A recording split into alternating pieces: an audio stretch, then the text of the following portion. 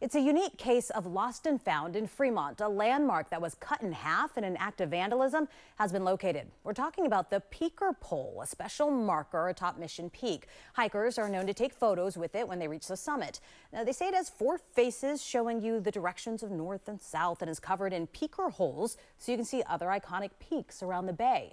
Tonight, questions remain about who cut off half the pole was premeditated. You need a specific tool to cut something like that down. You need to spend time to bring yourself up 2,100 feet over three miles. Um, it's not a low effort crime. The section that was removed has been found by park staff. The pole has stood atop Mission Peak since 1990.